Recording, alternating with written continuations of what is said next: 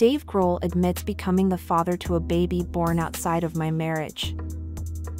Foo Fighters singer Dave Grohl, well known for his reputation as the nicest guy in rock, has admitted becoming the father to a baby born outside of my marriage. The former Nirvana drummer, 55 years old, said he plans to be a loving and supportive parent to his new daughter in an Instagram post on Tuesday. I've recently become the father of a new baby daughter, born outside of my marriage. I plan to be a loving and supportive parent to her.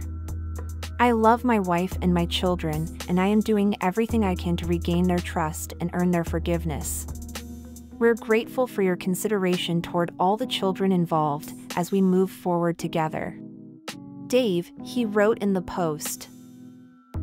Grohl's publicist told the singer would be offering no further comment beyond the statement. The rocker has been married to director Blum since 2003.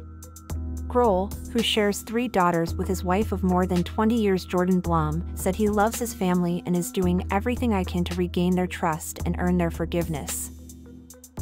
He played drums in the pioneering grunge band Nirvana from 1990 until 1994 when lead singer Kurt Cobain took his own life aged 27.